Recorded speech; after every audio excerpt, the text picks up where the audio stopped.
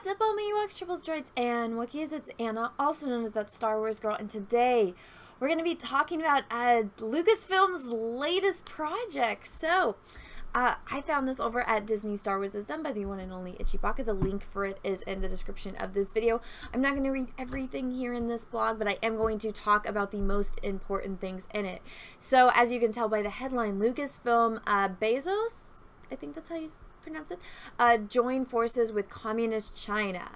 So if that didn't get your attention, I don't know what will. So remember, uh, before we get into it and we talk about what really is uh, going on, what this project is about, let's just remember what uh, has happened in the past when Disney and Lucasfilm decide to market things to a Chinese audience. Disney is all about preaching about inclusivity, ending racism, being pro LGBTQ plus, but then when you actually look at their actions and what they do, it's like, you know, actions speak louder than words and their words are falling flat because it's not reflective of what they're actually doing. What they're actually doing is telling you oh hey look we're gonna have you know a black man be one of the main characters in star wars. And all of us star wars fans are like well that that's already been done. You're like this isn't new. You know there there's Lando, hello, that was one of the main characters in Star Wars. He was introduced in Empire Strikes Back, and he's the one that blew up the second Death Star. So there's nothing new about, you know, a black man being a lead in a Star Wars movie, but they like to act like that was the bestest ever and they had never been done before. And so even when you can see on uh, the American audience poster, see how big Finn is. Like, so it's, it's Rey, or it's Kylo Ren, then it's Rey, then it's Finn. Even Han and Leia are small. BB-8 is almost non-existent. Poe is, you know, tiny. But then when you look at the poster for the Chinese audience, what's Kylo Ren doing? He's looking straight at you. Rey has shrunk. Han and Leia have gotten bigger. Finn, it's like, where the heck is Finn?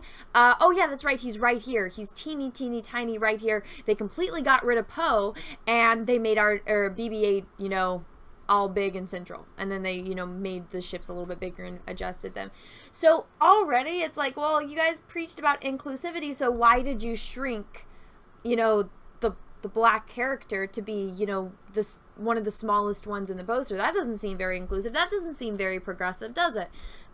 Excuse me. So again, actions speak louder than words and look at uh, just by their actions how much they actually care about diversity ending racism being inclusive they don't when they're marketing to a Chinese audience. So uh, let's get down here. So they are working with uh, China Literature.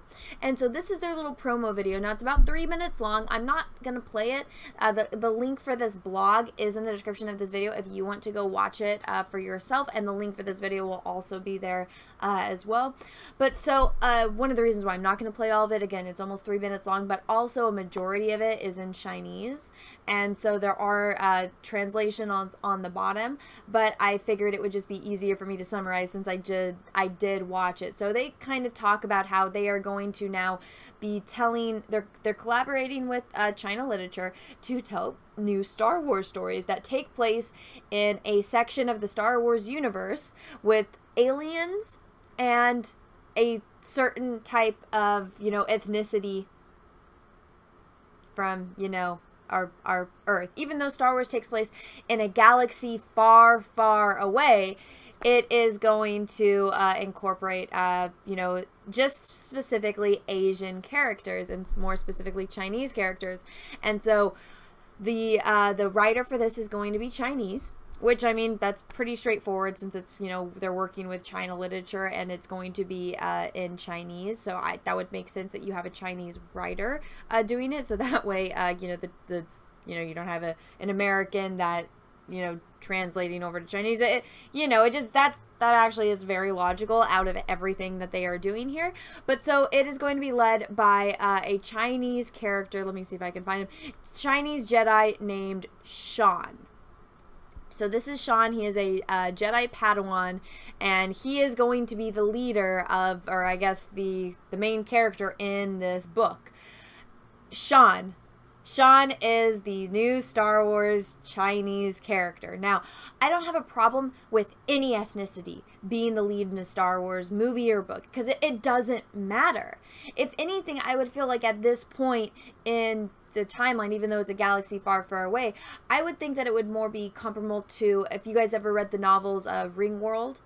In Ringworld, the main character is an Asian man, but it's very he he even specifically when you know the author is describing him and you know it's the characters in her monologue when he speaks about himself is that there's just a hint of you know his asian past in his eyes because at this point in the future everyone is so mixed that you know you can't really tell your background or your ethnicity because again everyone is so everyone's so mixed. It's not just oh you're this you're this you're that. It's you know very much a mixed culture because the world has united as one and people have moved past that. But uh that that's what i would actually think of in the Star Wars universe at this point, since, you know, uh, based on how many humans there are in the galaxy and the way that things work and with the way that people travel and whatnot, that to me made more logical sense than anything else they've done. But, uh, it is what it is with Disney Star Wars. I, I just, at this point, it's like, well, what, what else are you to throw? What else, uh, you know you're you're being inclusive you're being for you know the forefront of this movement but then you know your actions don't match your words and your words don't match your actions and the logic just isn't there. You guys are going to do something new that nobody's ever seen before. It's like oh an asian character is going to be the lead. Again they did that like back in the 60s with ringworld. I mean i mean it's done countless times but whatever whatever. So uh, he is going to be the lead. I think the art for this is actually very nice. Uh, and so there let me go read a little bit more. So uh, this just kind of goes into how you know the the guy the uh, edward ching i i don't uh, I don't think I'm pronouncing his name correctly. I apologize.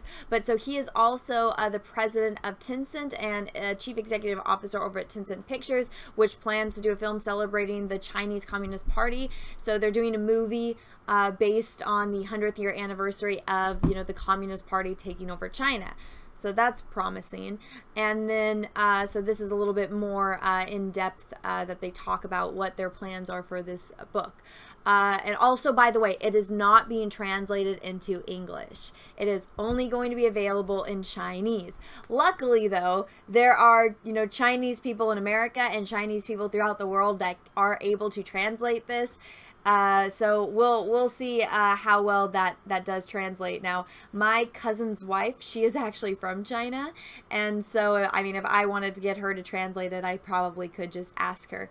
Uh, this distant star uh, system says Wing is a uniquely Chinese corner of the Star Wars universe. Although populated by some recognizable races from the Star Wars universe, like Twi'leks, Rodians, Wookiees, and um, and the like, it mostly consists of a race of humans with black hair and dark eyes, whose given names, space food, architecture, values, culture, and habits reflect those of the Chinese. Even if it's not earth food or earth beef, beef, maybe the way it's cooked or the way it's named will instantly make you think of Chinese food, says Wang, like braising in water or stewing in soy sauce. Now, one of the like things about Star Wars is it's it's like kind of like with Luke and the blue milk. So you're on Tatooine and you know they're sitting there they're having a meal and Luke has blue milk. So obviously our minds were like okay he's drinking milk be I mean it, it just it makes sense, but it's blue because it's different because it's an alien thing. So you can do this. It's completely fine to do something like this and, you know, have, oh, maybe this is like their sauce, give it, uh, give it a name. And you can be, you know, a little bit, uh, you know, sly about it and have it be like an anagram for soy sauce or something like that. And then have it be, I don't know, neon orange or something like that. And so I mean, there's way to do this and to do it in a clever way. So that that's not exactly, you know, the worst thing about this concept. I think the fact that they're leading in with a uh like the Asian character and his name is Sean.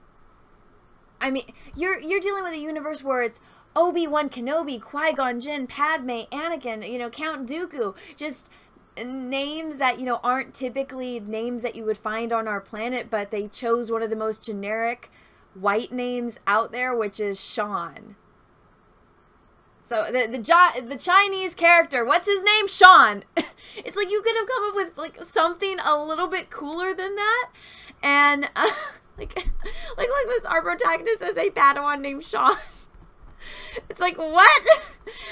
It's like if you're gonna go the Chinese route and have all of your characters be Chinese and whatnot, it's like, oh, all right, you know, I guess you do you guys. I mean, you're not translating into English. We all, without me saying it to get my channel in trouble or to get myself in trouble, um, we all know what this is about and the the intentions behind it and what the the, the true purpose is of it.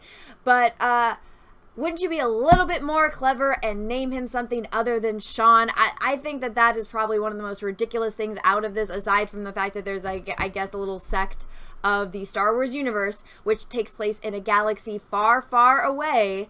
Uh, there's there's a little, basically little mini China in the Star Wars universe, which I feel like that could also lead into their Disney parks and they're trying to say, "Oh, well this is, you know, the the Chinese section of the Star Wars galaxy. That's why at our, you know, Disney Disneylands in China, that's why it's all Chinese." But uh yeah, it is what it is. I don't want to say any more with because uh, I don't want to get myself in trouble and you know magically disappear. So uh, that's as far as I'm going to go with this. If you want to go read the rest of this article, it is in the description of this video. Again, thank you and shout out to Ichibaka and uh, Jar Jar Abrams for the article and in this video. Again, the links are in the description of this video. And if you like this video, go ahead and give it a thumbs up. If you didn't, that's okay too. Thank you so much for watching this far through. And everyone, have a great rest of your day, morning, evening, afternoon, wherever you are in the world. And may the force be with you because we are really, really, really going to need it. Bye, everyone. What's up, everyone? It's Anna, also known as That Star Wars Girl, and I have an Etsy store, so if you've ever wanted to own a print of my artwork, this is the place to go. As you can see, I have a lot of recognizable characters, from horror films to heroes to Star Wars characters. Some of the notable characters I have on here are Darth Vader, which I did a couple live streams painting, so you can own a print of this painting. I also have Luke Skywalker, the Binary Sunset version, one of my favorite favorite scenes in the original New Hope movie. I have Darth Maul, which Ray Parks himself actually complimented me on Instagram.